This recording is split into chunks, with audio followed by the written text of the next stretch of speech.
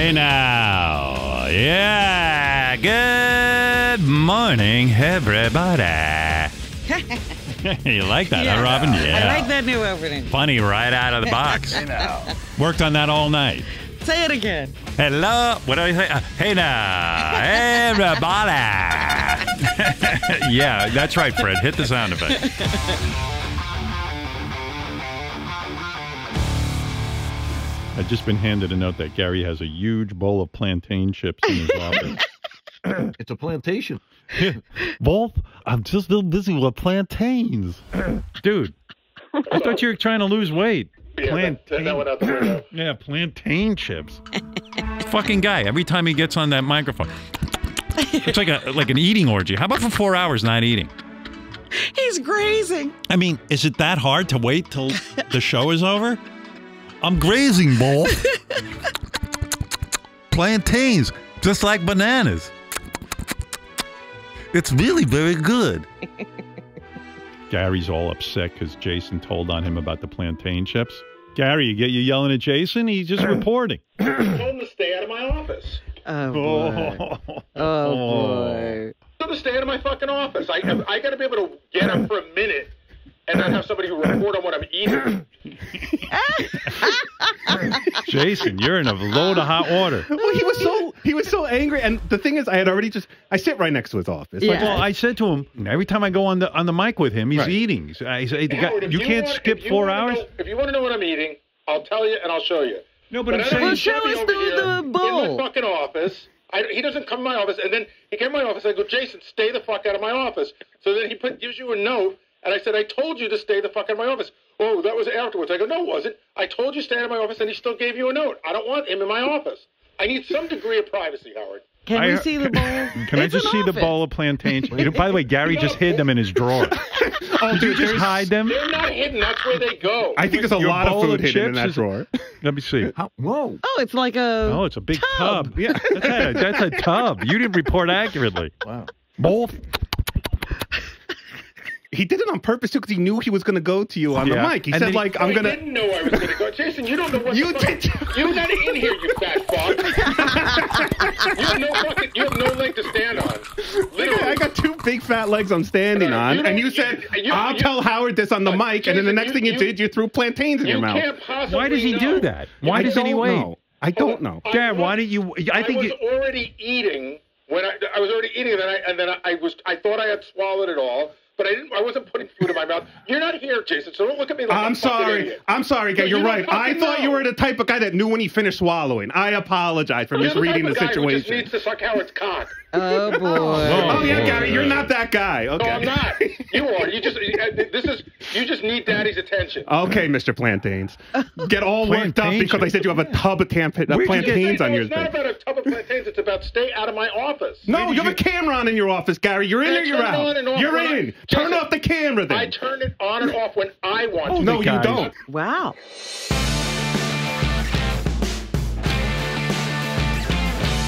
How long would it take uh, to put together a Def Leppard record with Mutt Lange in a studio? Would it take months, years? Years. Different songs. Years. It'd be years. Like Animal, the song Animal, took three years. Not totally all the Right. time. And then Pour Some Sugar on. We'd actually finish the album. Joe's sitting in the corridor singing, and Mutt goes, What's that? And he goes, I don't know.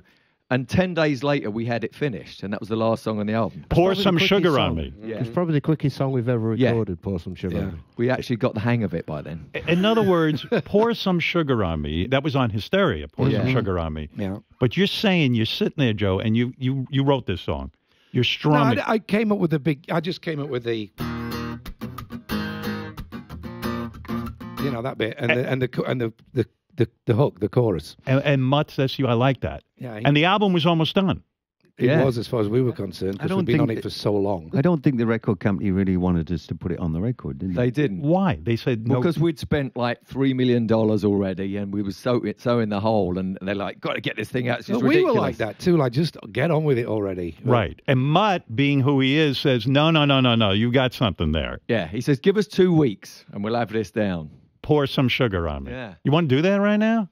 Sure. You do? We know that one. You know it. All right, do do pour some sugar. This is the song you were strumming in the hallway that the record company was like, come on, just give us a finished product already and cut the shit. Yeah. All right, all right let me hear this. All together? Yeah. Yeah. One, two, three, four.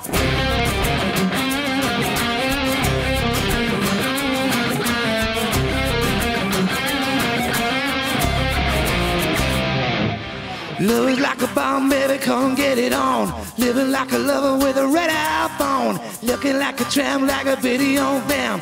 Demolition woman, can I be your man? Your man. Razzling and dazzling, a flash a little light. Television lover, baby, come on now. Sometime, anytime, sugar is sweet. Little miss innocent, sugar me, yeah. Yeah!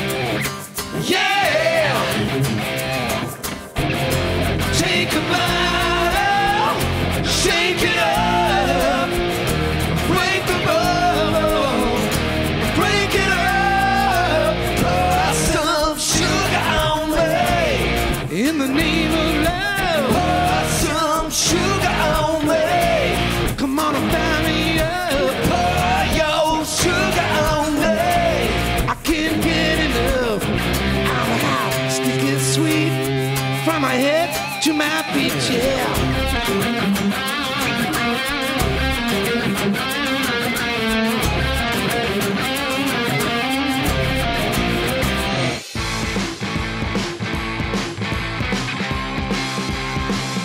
So I was coming out of the diner, and um, there was two guys waiting for me. This is like, as I said, five in the morning. I was coming out, and there was two guys waiting for me. One guy had a mask on, and he had his gun out. And I was getting in my car, and he and he, and he was trying to rob me. He was like, "Give me all your shit." I was like, "Fuck you!" And I got in my car. Oh, you said fuck you? Yeah, the guy's pointing a gun at you and you said fuck Yeah, you? I Well, you're a real man. I didn't know you were such a man. I wasn't. I couldn't. You know what? I couldn't live with myself if I like. If you didn't home- say fuck you, Yeah, you know I what? was- I'm a big coward. I learned to live with myself. I'm like, oh yes, sir. fine, right? Here's here's all my money, sir. And and by the way, nice mask. I don't think they expected me to say "fuck you" to them. So. So you said fuck you and you just got in your car. Yeah. Wow. I know. Then I got in my car, and as I was getting in, I was just kind of moving to my car. And as I was getting in, uh, I was sitting in my car about to close the door. He was standing there, and he shot me right on the side. So it went in my chest, Oh. side of my chest, then it went through my lung, through my stomach, Oh. into my liver. Wow. Oh, and you survived. And then I actually drove after that. I pulled the car out after I put it in Were you having trouble breathing? Though, Yeah, well, what happened?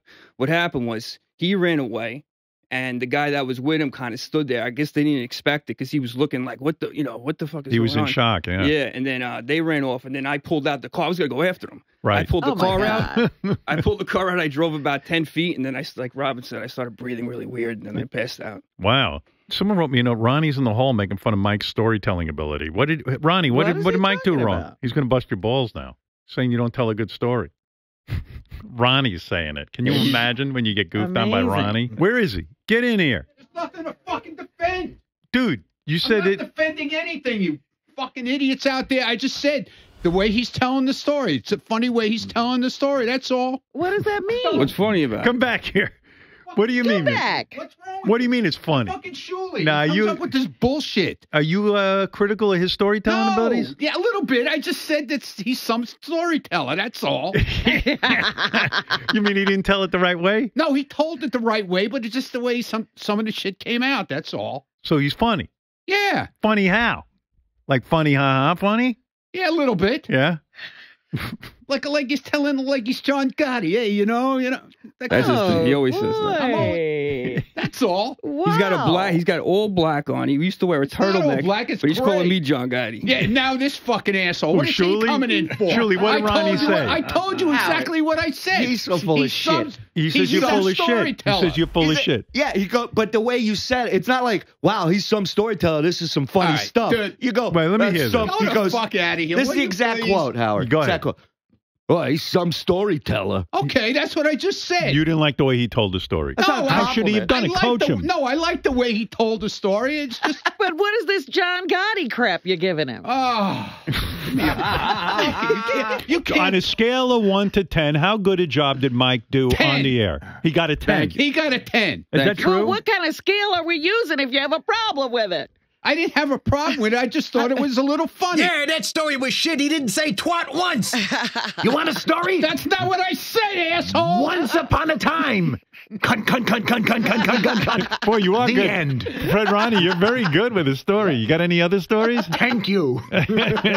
Thank you. What was more painful for you, the actual bullet or Ronnie's critique of your talent storytelling? I didn't Ronnie's critique didn't bother me. It's all right. Yeah, with your bullshit shooting story. I got shot once. I got shot once by a guy who he was shooting his load on my face. we were double teaming this chick. Ah. it was a nine Hold it- millimeter splat. Hold it together, buddy. You're starting to laugh while you're talking. yeah. You got a scar where the bullet went in? Yeah. Let me see that. See that. That's where it went in right there. Oh yeah. Oh shit! Look at that. And then it went. Then it. Then that's from like all the surgeries and Ooh, stuff. Wow! And then they take it out. They took it out right there somewhere.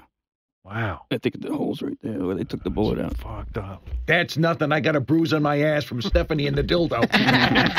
Show us.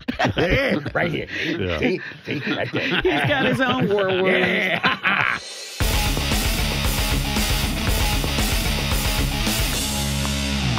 Let me get everything straight now. No- No problems anymore with paparazzi. No more. Oh, no more. Nothing. uh, No court docket. Uh, Well, no, I had The- the thing with the- the guy who said I punched him in front of my thing, house. yeah. What Yeah. happened with that? Are you? well, are the, you- the, the thing is, is that there's cameras everywhere. So I, I guess uh, to be glib about it, unfortunately for him, there were cameras everywhere that show that nobody punched anybody. right. Thank so God. th- right. that's why my case was dismissed to harassment or knocked down to harassment. I see. They said I pushed him. Now my problem was that when he aggressively takes this parking space from me, which is you know that's not the end of the world. I thought he might. I thought he was going to get close to hitting my wife and my son. You felt threatened. no, no, I, I, I just felt that what he did was impolite, bordering on dangerous, because he didn't walk up to me and say, "Excuse me, I've been waiting here. I'd like to take this space." Nothing. He just went zit really fast and really aggressive, and my wife and my son were standing there by on the curb, too, uh, with somebody. Uh, my neighbor said, "Would you like my spot?" Now, I've got every fucking numbnuts asshole in the world writing to me online, going, "You know, you don't have a garage." You don't have a Well, parking I got to tell you, I almost picked up the phone and called you. I have a parking garage down the block, actually. Alec, you're a wealthy man. No, but I Get pull, yourself a driver. I have a driver. Oh, you do? I do, yeah. Yeah, that's what I'm My saying. My wife uses that car. I mean, my wife takes that car. You should never have that again I because took my car Yeah. and was pulling my car in there to Do you load love- my car to go to Long Island. Do you, does the judge force you to go like anger management and all this kind of? Oh stuff? yeah, yeah, yeah. Does any of that work? I mean, Oh, yeah. It seems to me how could it does? Well, but what's funny is you go to anger you go management? to anger management classes. That would make me angry. When I was when, when- right, well, it's funny, but, but you're on something there. Right. But when you go to anger management, you realize you're not that angry. Right. You're there. With, you're there with other people in the class. You're there with other people in the Like, class. what have they done? And, and exactly, they're like, you know, I asked the guy. To, I don't want chopsticks. I want a fork. and he put the chopsticks in the bag. So I get to my office. I open it up, and there's chopsticks in there. So I go back. I'm like, "What the fuck did I say to you?" What? And, and everybody's Oh. going nuts. And you're like, hey, dude, calm down. And I'm sitting there going, "Hey, man, you know, chopsticks can be a lot of fun. You know, Yeah. very- uh, mean, for Yeah. countless generations of Asians have used chopsticks. I'm a fucking And American. We, he's like, we yeah, invented a fork. Yeah. Hey, Alec Bull, why don't you shut up?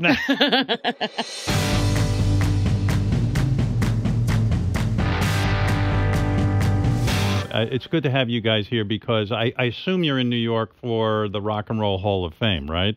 Oh, that thing, yeah. Is that happening? Yeah, Do we Friday. care It's about that, happening. boys?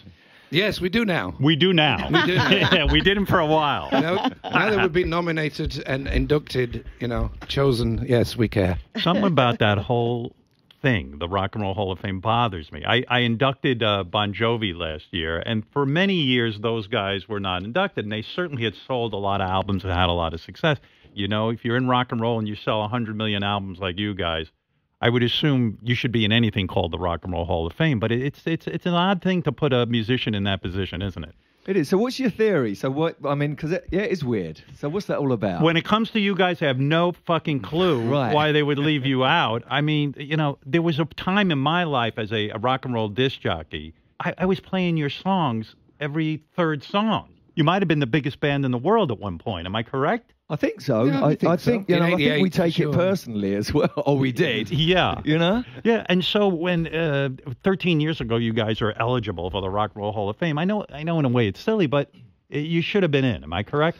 Yeah. Well, we didn't know because we weren't following how it went. Twenty five years, and then you can you can you're you're eligible to be nominated. We had no idea. Yeah. You know, so it was only around about maybe two thousand seven and eight when people would start saying, "Well, for the last three years, you've been eligible." I go, oh, really? Yeah. And then they would keep asking the question, and we were so fed up with the question, we just say, "No, fuck, we don't care." Yeah, right. No, it's it's care. ridiculous. But it's the same as the Grammys. You know, we've never nominated. When we when we had two diamond albums, two ten times platinum albums, there was no category for us. And, Right. uh, Yeah, it's crazy. Yeah, it's it's just and very before the odd. fan, in fairness, before the fan vote, I think it was a very elitist thing, which is why we kind of shied away. You know, if you weren't Lou Reed or REM or Loudon Wainwright the third, Yes. no, not not they didn't want us. There's actually a little bit of snobbery there. Like there's a judgment call. Oh, you're not cool enough to be hanging with these guys, and I don't even understand it. The that went out the window with a fan vote, which is great. Yeah, we're right. definitely not cool, but the fans like us. But you are cool.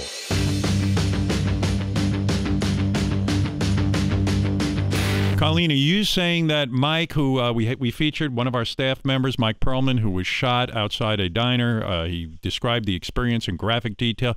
You're saying he is the best-looking guy on the show, Yeah, I thought he was very good looking, He's a handsome guy. I mean, I'm older. I'm Robin? Who is better-looking, old. Steve Nowicki, Memet, or or Mike Perlman? Why do I have to be the arbiter? Because you're a woman, and and, uh, and you're all I got. what am I going to ask Fred? Yes. Fred, who's better looking? I actually Honestly. might agree with this woman. All right, since you, Robin, since you don't want to offend anyone, I'll have Chris Wilding evaluate. okay. I'm so straight that I wouldn't recognize. Who was the better looking guy? Yeah, I didn't even think Mike was that good looking. I mean, sure, his pecs are big, and yes, he knows how to fill out a pair of pants, but I wasn't thinking in that direction. Do you, have you ever pondered this, Chris, before this question? Yes, you want my ruling? Sure. The best looking guy on staff. Yeah. Very simple. You got Nowicki, Memet, and now Mhm. Mike Perlman. But that might not even be the guy. Oh, all right. Well, that's true too. Who would I have sex with? That's right. Who if is the you- hottest guy? the hottest guy? Not my favorite person, Right. but I will tell you He the could be a, hottest the guy. hottest guy is usually a scumbag. The best looking guy. Go ahead. Memet Walker. Really? Yes. Wow. That's controversial now. He has the best overall look. I see. Mike, not a good looking guy, well built. You would blow Mike. It's not, you know, He'd probably pin you down, give you a great fuck. right. Of this, I have no oh, doubt. Memet is beaming like he just won an Oscar. But Memet is blushing. I observe these. Gen- Steve, very cute. Right. Probably give you a good fuck as well. Go ahead. But if you take it all into consideration, the look, the swagger, the way he comports himself, physically, physically, it's Memet Walker. Fred, let Memet come in and accept his award. Give him some of the music, like an award show type sound. And, uh, you know. And, and, uh, if you want to make a speech, now's your chance, buddy. Ladies and gentlemen, The And now- the handsomest man on the show, according to Chris Wilding, who is as It gay has as the day is long. declared. It has been declared. Ladies and gentlemen, Now, Chris, even today when his hair's a mess. Yeah, it's because he has that effortless sort of hot look. Okay. I don't even think I'm looking my best today, but thank you very much. And by the way, I've walked away from this title a long time ago. you, you gave it I up. don't want it. I know, but what I do you want to appreciate say? it. I mean, thank you. I, I don't agree. Well, but, it's uh, being foisted on you again. I know, and like I said, it's a heavy burden. So I would rather you give it to Steve Nowicki, but for the moment, I'm very, very happy. Chris, Yeah. When you're looking at him now, Yeah. are you thinking about sex? Oh, yes. I'm thinking, quite honestly, about blowing him until completion. Wow. Really? Until Yeah. completion in your mouth. In my mouth, swallowing most of the load. Memet, I how like you- that he said like my body and my swagger and all that stuff because yeah. most people say like I'm a vomit inside. You know what I, I mean? I say that. Right. Oh, Yeah. I believe inside you're a vomit. I'm but not. No, he physically- said he doesn't like you. I'm good-hearted in I like I say would, I would blow like you, me. and then I'd say I really disagree with you as a human being immediately afterwards. Chris recently was talking to some people and going through the whole staff to decide which guy would be a top or a bottom. Uh-huh. And he actually had a special term for Memet. He wasn't just a Oh. bottom; he's a bitch bottom boy. Mm.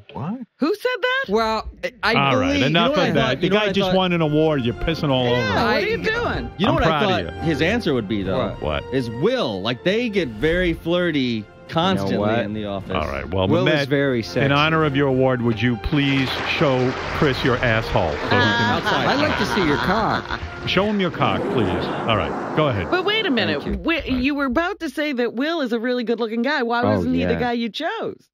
Because it's not the best looking. Memet's a little younger, and I, I Ah. physically I'm a little more attracted to him. But oh my God, I would fuck Will in a heartbeat. All right. You know what? I, I'm enjoying this, but uh, uh, we're running out of I time. would drink his Right. load. Yeah. Oh my drink his goodness. load. He's drinking a lot of loads.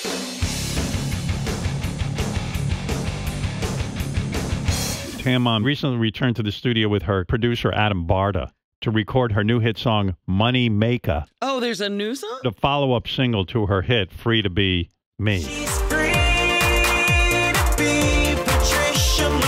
First, I want to take you through the recording process. We sent Shuli, our own Shuli, down to record Tan Mom in the studio. Tan Mom had some trouble even getting to the recording studio. She canceled 30 minutes before the first session. She canceled the first day because studio time costs, you know, costs money. Said she was sick. Sick. I'm not feeling well.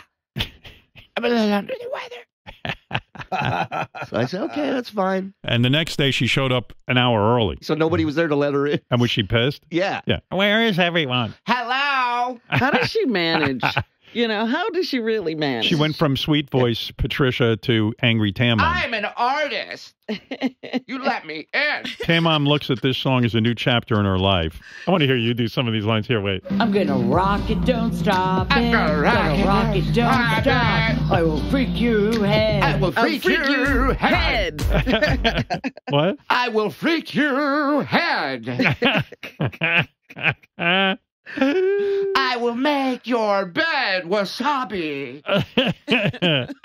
At one point, it says here, Tan Mom had no idea who her producer was or what he did, right? It's not just at one point. This is three hours into the session. She's like, Who are you? I'm sorry. What do you do again?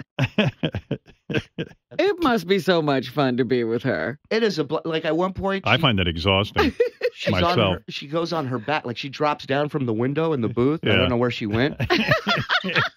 like there's an elevator in there, and I walk around the corner and I see she's laying on her back and she has her legs over her head. Yeah. And I walk in, I go, Patricia, are you okay? And her her throat's being squished. You know, her voice sounds. She goes, I'm just stretching my back. she sounds like Gollum.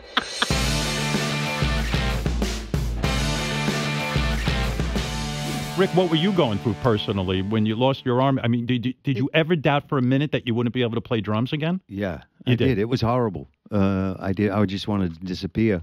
But then I found, really, I found that the power of the human spirit and the guys and my family uh, and everybody was just behind me. It was, uh, it, it was really special. But it's a remarkable story in the in, of human spirit that, you, like, w- at, at first you say, "I'm never going to play the drums again. Fuck it, I'm never going to go near a drum kit."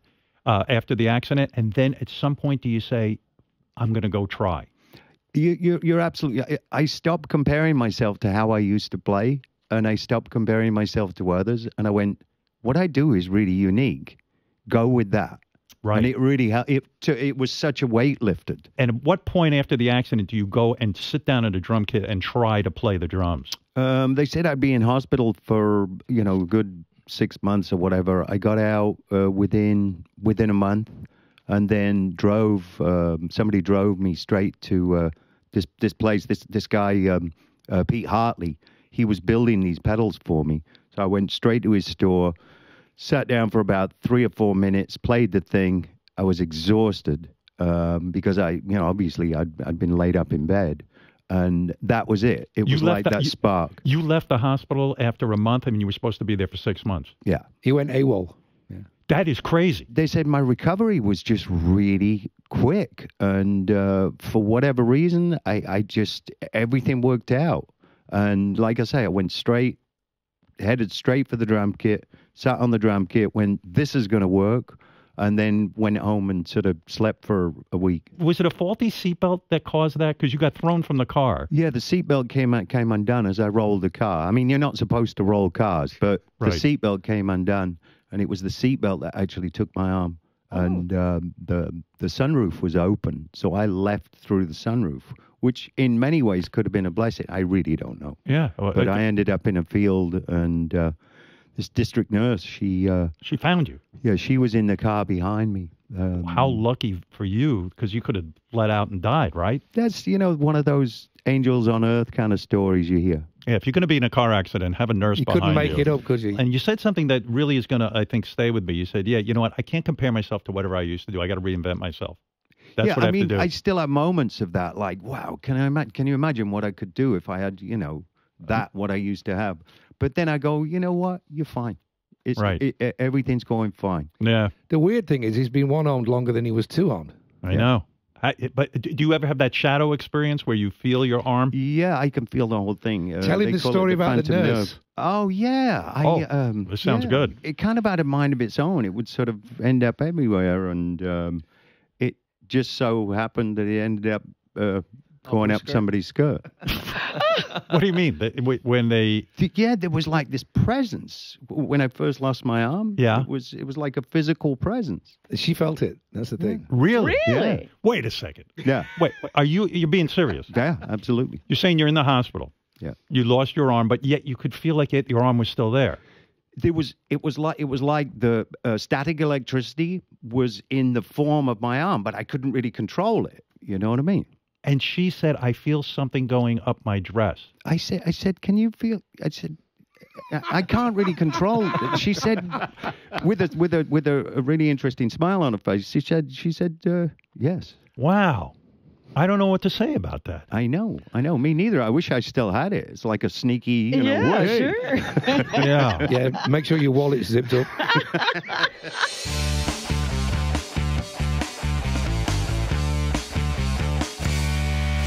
You know, I was thinking about Gary yesterday, and I and I I, I, I, mean, you know, first of all, I don't even know why you wanted to volunteer for that. Parks The Parks and Recreation. I said, this guy, I must not bust his balls enough because he's got too much free time.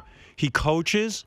He's on the board of the rec. He should be exhausted. Like I would have not a free minute to be on any board. I just don't Uh, you have it. couldn't coach. I coach. I don't have a free second. Like, aren't are you stressed out about work at all? I'm very, listen, Howard. I am. I don't on feel the- you are. I- I'm on the show 24 seven. You see, I when think you could do more, Hold on a second. You see when I answer emails, I'm checking emails all day long, and I'm on top of everything. First of all, I just got the agenda for or the amount of meetings.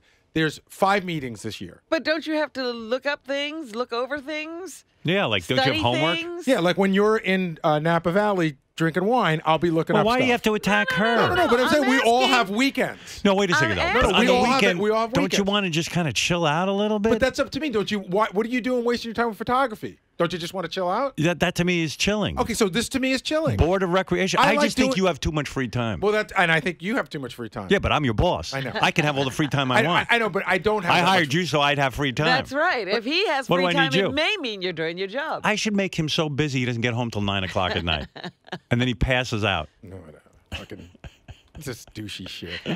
Ah, he's so annoying. I lay in bed thinking, I go, how does he have all this free time? Well, he's carrying on. Does it sound like fun to No. sit on that board? Do you know why they call it a board? Because you're bored. I'm not kidding. That's not fun. Oddly, to me, it's fun to contribute.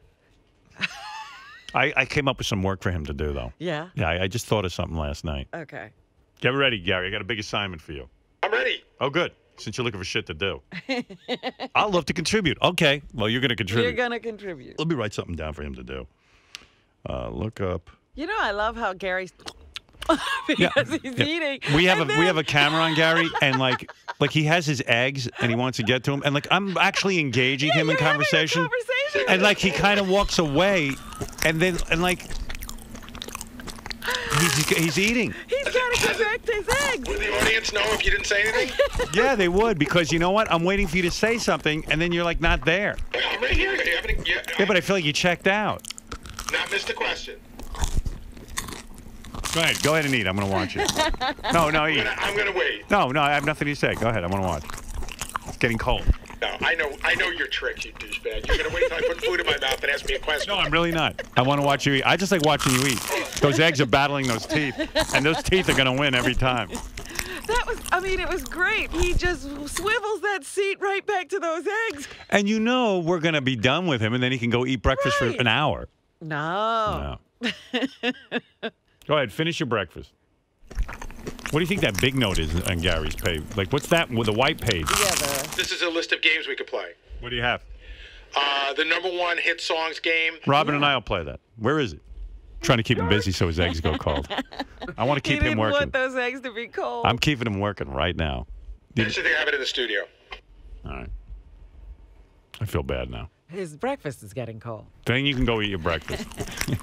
What cracked me up, it was the swivel chair, because he swivels to the end. Why do you keep the eggs so far away from you that you have to swivel? Why don't you Well, keep no, them no, no, closer? because I, they are close. But when I talk to you, I want to get close to the Ah, mic. okay. Because if I swiveled and didn't move, I'd be off mic and you'd be pissed. Because he was like this, blah, blah, blah, blah, blah, blah, blah, and then he went there and he goes, and he's eating. And then he slides back and Both- swivels back. Here's the thing that amazes me. Here's the thing that amazes me about the show. No inclination at all today that All right. from 6:25 to now you'd be beating the shit out of me. No, I'm not beating the shit out of A you. Just bit. comment. All right. Smacking me around.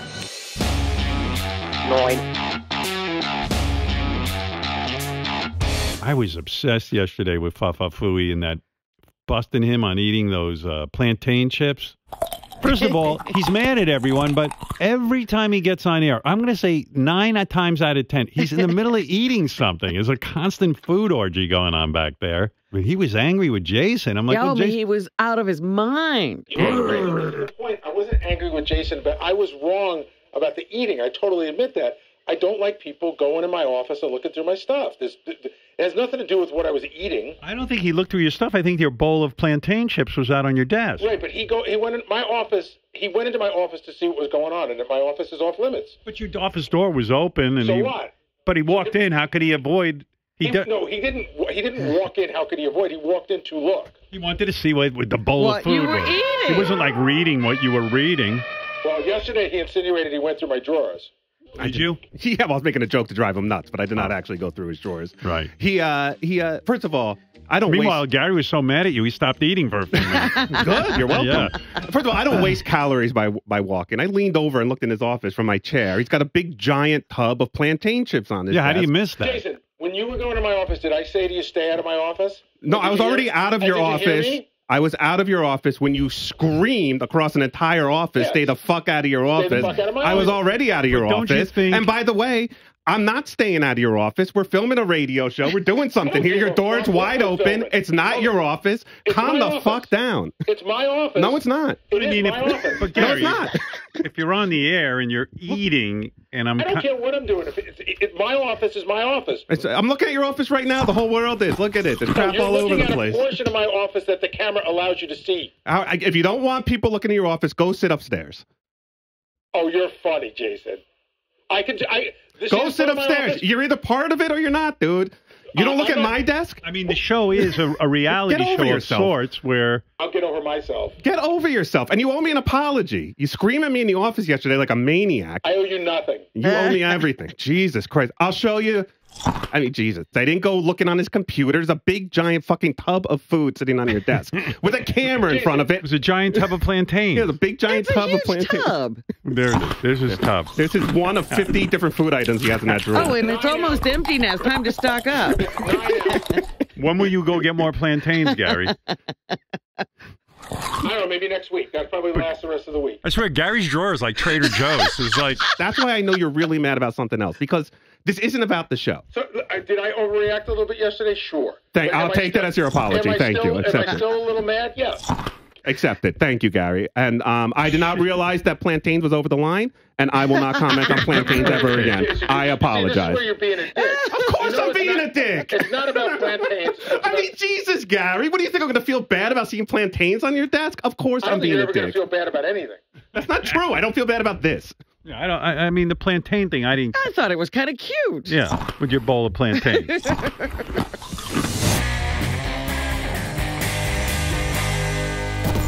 Howard Stern Show.